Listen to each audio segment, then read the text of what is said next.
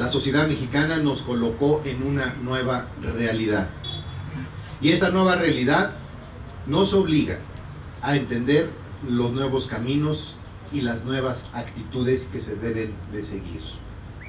El día de ayer tuvimos la oportunidad de contar con la visita del presidente de la República, el licenciado Andrés Manuel López Obrador. El gobernador del estado tiene muy claro y tiene también muy precisa cuál debe ser la ruta de la relación con el presidente de la República. Sería yo un imprudente desmedido o un torpe infinito si me dedicara yo a complicarme la vida en mi relación con el presidente de la República. El presidente de la República es el licenciado Andrés Manuel López Obrador y debemos de propiciar, empezando por el gobernador, una relación de respeto, una buena relación constructiva pensando en el bien de México y en el bien de Guerrero.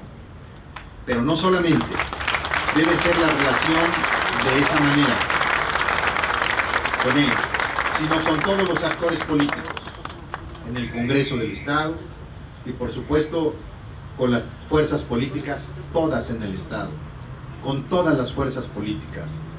Estamos obligados a hacer más política, una política correcta, de diálogo, de entendimiento, de acuerdo, no de confrontación. Y este, amigas y amigos, precisamente es el camino que hay que seguir, de respeto mutuo, por supuesto, sin indignidades, en una ruta de diálogo, de entendimiento y de colaboración institucional mutua sin caer nunca en actitudes que nos denigren, ni tampoco en actitudes en las que nos vayamos nosotros mismos a sobredimensionar. Ubiquémonos en nuestra realidad. Actuemos dentro de, esta, dentro de la nueva realidad que vive México y que vive también Guerrero. Esa es la ruta que hay que seguir.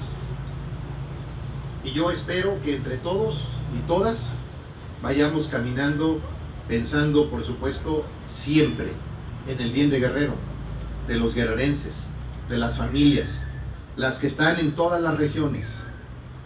En los próximos, en los próximos días habremos de emprender una serie de recorridos por el estado para hablar sobre los temas del fertilizante que por supuesto interesa mucho a los guerrerenses en un nuevo manejo directamente por el gobierno federal y por supuesto, por supuesto, con toda la disposición del gobierno estatal para colaborar para que llegue a buen fin este programa con un nuevo manejo desde la federación. Por supuesto, en estas giras y en estos recorridos, hablar de las inversiones y de las obras públicas que vamos a hacer en cada una de las regiones. Y yo creo que la ruta del Partido Revolucionario Institucional debe ser también paralela. Debemos caminar y debemos de recorrer nuestro estado y hablar con nuestros militantes, hombres y mujeres, jóvenes, y abrirnos para nuevas expresiones. Sin duda el Partido Revolucionario Institucional está obligado a hacer lo que tenga que hacer.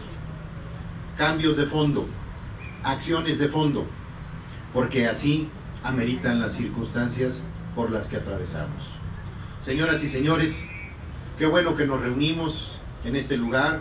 Qué bueno que la figura de Luis Donaldo Colosio, sus ideales, sus expresiones nos reúnan.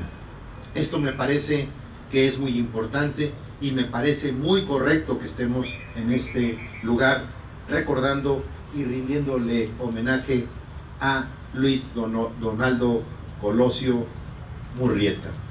Reciban todas y todos ustedes mi saludo respetuoso, mi ratificación de mi identidad como priista.